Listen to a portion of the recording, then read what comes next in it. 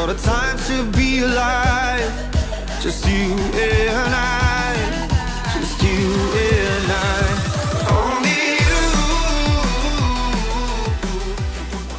Espero que estén bien. El día de hoy vamos a ver otra receta de nuestra serie de recetas guatemaltecas. No pertenece a una región en específico, sino que se consume a lo largo y ancho de toda Guatemala. Es una receta que a, a muchos les gusta y también a muchos no. Está dividida las opiniones, es parecido a las recetas de panza, de revolcado, de todas esas recetas. Eh, a mí me gusta, es una receta sencilla, muy rica.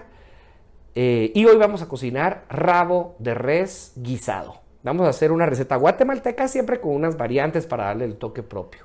Yo ya tengo aquí mis ingredientes, el mise en place, y los vamos a ver y luego vamos a empezar el paso por paso.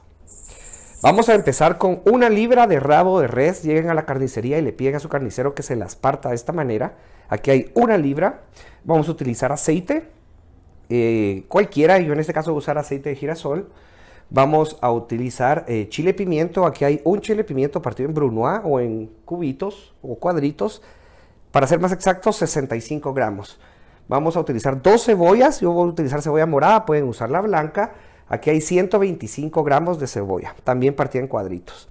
Y también utilizaremos tomate. El tomate también está partido en cuadritos y vamos a utilizar 5 tomates o 220 gramos. Vamos a utilizar alcaparra. Alcaparra vamos a utilizar 25 gramos. Sin sal, por favor, en vinagre. Vamos a utilizar dos ramitas de perejil. Utilizaremos también vinagre. ¿Cuánto? Dos cucharadas de vinagre y por último, eh, vamos a utilizar también ajo, dos dientes de ajo. Lo único que no tengo aquí que también vamos a utilizar es una taza de fondo de pollo. Si no tienen, pueden usar agua, no hay ningún problema. Sabiendo nuestros ingredientes, vamos a ir al paso número uno. El primer paso en la receta es sellar nuestros rabos. Aquí yo ya puse a precalentar el aceite y vamos a ponerlos por ambos lados. Yo les, para sellarlos les daría dos minutos de cada lado. Vuelvo con ustedes cuando ya los haya sellado para indicarles el siguiente paso. En este momento pueden observar que ya está sellado de todos lados los rabos. Ahorita es momento de retirarlos. Recuerden para sellar el fuego al máximo. Ahorita que lo retiremos vamos a bajar el fuego a la mitad y ahorita les enseño el siguiente paso. Una vez que ya retiré los rabos, procedemos a agregar el chile pimiento. Vamos a poner el tomate y si se dan cuenta toda esa grasa no solo es el aceite, sino que es la misma grasa que soltaron los rabos. La vamos a aprovechar. Vamos a poner el tomate, la cebolla, el ajo, el perejil las alcaparras. Aquí está mi taza que no les había mostrado de consomé de pollo o fondo de pollo. Esto lo vamos a mezclar muy bien y vamos a dejar que se cocine siempre con el fuego bajito. Yo diría que de medio a bajo. De 1 a 10 en un 3. Le vamos a dejar aquí que se cocine a fuego lento. Ahorita les confirmo cuánto tiempo la dejo aquí. En este momento ya pasaron 10 minutos desde que ingresamos nuestros ingredientes a la olla. Vamos a proceder ahora a agregarles sal,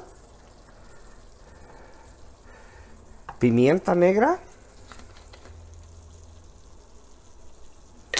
y regresamos nuestros rabos a esta mezcla. Los vamos a tener únicamente aquí durante 5 minutos. Luego de esos 5 minutos, ahorita les enseño qué es lo que hay que hacer. Vuelvo con ustedes. Ya pasaron 5 minutos con esta mezcla de todos los ingredientes. Ahora lo que procede es retirar esta olla del fuego. Poner nuestra olla de presión previamente con un poquito de aceite. Y agregar nuestros ingredientes. O sea, cambiarlos de olla. Pasarlos a esta olla de presión. Cuando ya lo hayamos hecho, necesitamos cubrir de agua. Así que agregamos agua a la olla de presión. ¿Cuánto? ustedes van a ir viendo más o menos cuánto. ahí en la imagen se puede ver cuánto estoy agregando yo. Bueno, luego de agregar esto, voy a cerrar la olla de presión y voy a esperar a que la perilla empiece a dar vueltas para empezar con el cronómetro del tiempo. Ahorita nuestro fuego al máximo, tapamos nuestra olla de presión y vuelvo. Esperé aproximadamente 10 minutos para que la perilla empezara a girar a esta velocidad. Ahorita que acaba de empezar, se recuerdan que el fuego yo les dije que lo tenían al máximo. En este momento lo bajan entre medio y bajo. Y empieza su cronómetro, por favor, 30 minutos. Cuando hayan pasado los 30 minutos, esperan que se enfríe la olla para poderla abrir. Cuando llegue ese momento, vuelvo con ustedes. Les cuento que ya logré destapar la olla de presión. Aquí mm, tomé la decisión de no darle 30 minutos, sino 45. Fue una buena decisión porque el rabo es un tanto duro. Ya cuando la logro abrir, la voy a regresar a la hornilla y la vamos a cocer a temperatura de baja a media. De 1 a 10 la voy a poner en 2 y medio o 3. Le voy a dar aproximadamente una hora y vuelvo con ustedes para decirles ya el último paso de esta receta. Ya pasaron una hora nuestros rabos en nuestro guiso.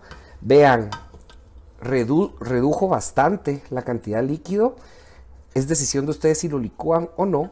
A mí me gusta así para que se aprecien las alcaparras. Así lo voy a dejar.